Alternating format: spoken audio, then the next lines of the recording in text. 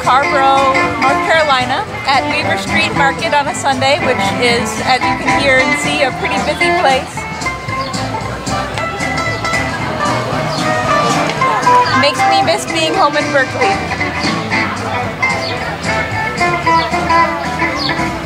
We got the Dreaming Cow yogurt, and so the cows are outside every single day eating the grass. Apparently they don't even go in a barn. And then, yeah.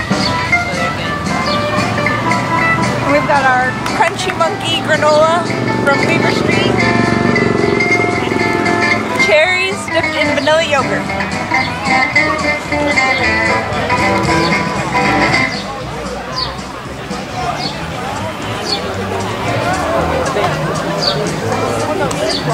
Thanks for watching.